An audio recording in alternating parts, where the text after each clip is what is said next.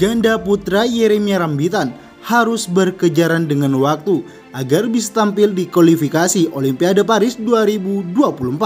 Saat ini, ia masih fokus pemulihan cedera lutut. Yeremia tercatat sudah dua bulan melakukan perawatan untuk pemulihan cedera lutut yang dialaminya saat tanding di Indonesia Open Juni lalu. Ia mengalami sakit pada lututnya setelah melakukan pendaratan tak sempurna kala menghadapi pasangan Malaysia yaitu Aronsia dan Sohwoi di babak perempat final turnamen Super 1000 tersebut.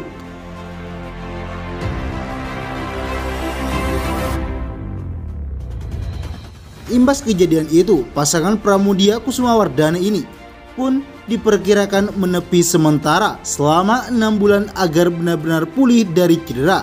Sayangnya, Yeremia juga harus dihadapi kenyataan bahwa kualifikasi Olimpiade akan dimulai sebentar lagi. Rujuk lawan BBF, final Piala Sudirman yang berlangsung 14 hingga 21 Mei 2023 akan menjadi turnamen pembuka yang poinnya masuk dalam kualifikasi Olimpiade. Sedangkan perkiraan Yeremia Rambitan sembuh jika perhitungan target 6 bulan, maka kemungkinan Yeremia dapat tampil di turnamen bulu tangkis mulai akhir tahun ini atau awal 2023. Dengan demikian, ia hanya menyisakan waktu kurang lebih 4 bulan untuk kembali ke performa awal seperti sebelumnya agar bisa turun di kejuaraan beregu campuran itu. Meski begitu, juara Asia 2022 ini mengaku optimis masalah tersebut dapat segera teratasi.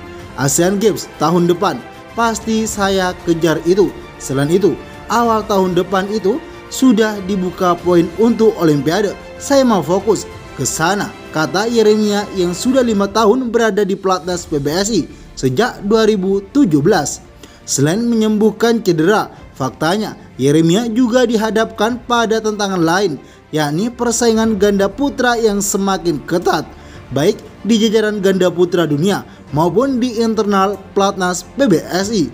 Bagaimanapun di atas Yeremia masih ada lima wakil ganda putra yang sampai kini terus bersaing di turnamen-turnamen BWF.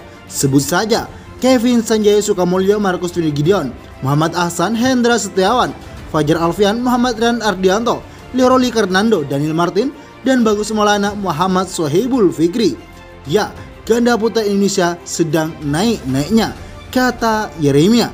Jadi, Yeremia Rambitan harus berkejaran dengan waktu dan tetap optimis dan semangat Maka dari itu, mau tidak mau, ia harus sisihkan dulu kisah romantismenya yang barangkali akan mengganggu karirnya di badminton.